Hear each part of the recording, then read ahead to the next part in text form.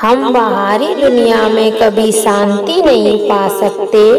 हम बाहरी दुनिया में कभी शांति नहीं पा सकते हैं। जब तक कि हम अंदर से शांत ना हो, जब तक कि हम अंदर से शांत ना हो, जब हम किसी को परखने की बजाय शांत रहें, क्षमा करें, आपको और आपके परिवार को विश्व शांति दिवस की हार्दिक शुभकामनाएँ।